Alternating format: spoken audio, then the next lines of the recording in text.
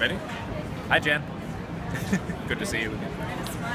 When in disgrace, with fortune and men's eyes, I all alone beweep my outcast state, and trouble deaf heaven with my bootless cries, and look upon myself and curse my fate, wishing me like to one more rich in hope, featured like him, like him with friends possessed, desiring this man's art or that man's scope with what I most enjoy contented least.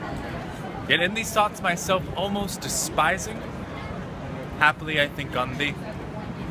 And then my thoughts, like to the lark at break of day arising from solemn earth, sings hymns at heaven's gate.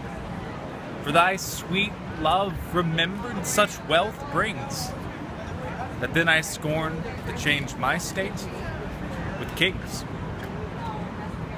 There you go.